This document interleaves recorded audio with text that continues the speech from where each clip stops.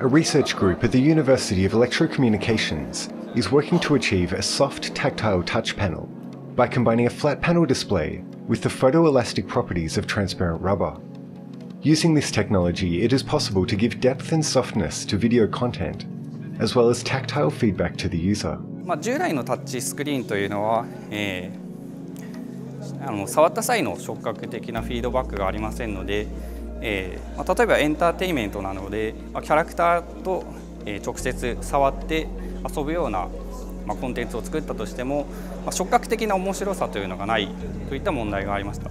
しかし、え、こういった柔らかい食感や、ま、立体的な形状を、えま、こういった、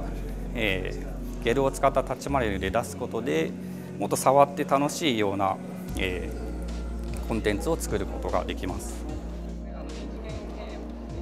The system consists of a camera, polarizer, transparent elastic medium, and an LCD. The light from the LCD is always polarized, so by using a polarizing film, you can block the light from the display entirely. When the transparent medium is placed between the polarizing film and the LCD, and a force is applied to the medium, its polarizing properties change, so light passes through the polarizing filter. Then, only the part of the gel under pressure lights up and can be seen.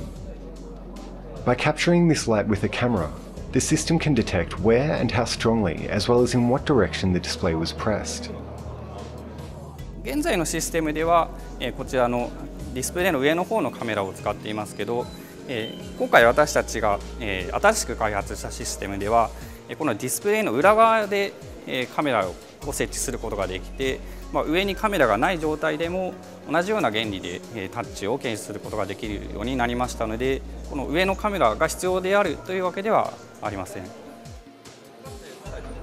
There are no particular restrictions on the form of the transparent gel.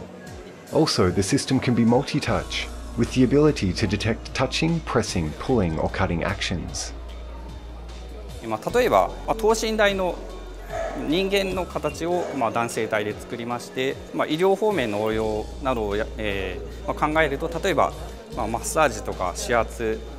などの、えー、実際に力を加えて、まあ、変形させる動作を使ったそういった医療のシミュレーターですね